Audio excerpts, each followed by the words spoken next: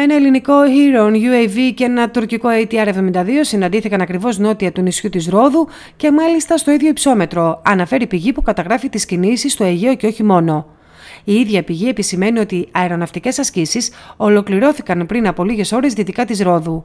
Για το Χιρόν και τη δράση του τα έχουμε γράψει σε διαφορετικά προηγούμενα άρθρα μας.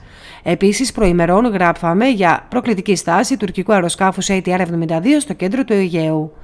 Αξίζει να υπενθυμίσουμε επίσης πως από την Παρασκευή 30 Σεπτεμβρίου έως την Παρασκευή 7 Οκτωβρίου 2022 διεξάγεται η τακτική άσκηση άνευ στρατευμάτων Αλέξανδρος 22 σε ολόκληρη την περιοχή ευθύνης του αρχηγού ΓΕΘΑ.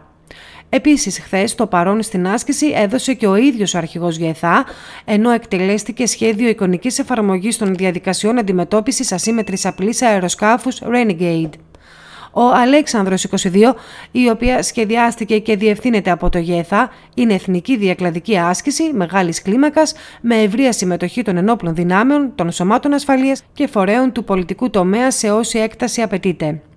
Κύριοι σκοπή της άσκησης είναι η εξέταση και αντιμετώπιση της δημιουργημένης από τις διεθνείς εξελίξεις κατάστασης στο εγγύς και ευρύτερο περιβάλλον της χώρας μας, η δοκιμή σχεδίων καθώς και η εκπαίδευση των επιτελείων και των μονάδων στην εφαρμογή των διαδικασιών του διακλαδικού δόγματος διοικήσεως και ελέγχου καθώς και στην σχεδίαση και διεξαγωγή διακλαδικών επιχειρήσεων.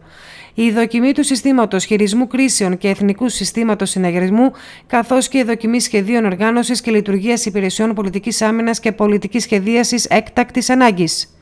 Η προαγωγή της συνεργασίας και του συντονισμού μεταξύ των κλάδων των ενόπλων δυνάμεων, των φορέων του πολιτικού τομέα, της ελληνικής αστυνομίας και του λιμανικού σώματος ελληνικής ακτοφυλακής κατά τη δοκιμή των εθνικών σχεδίων.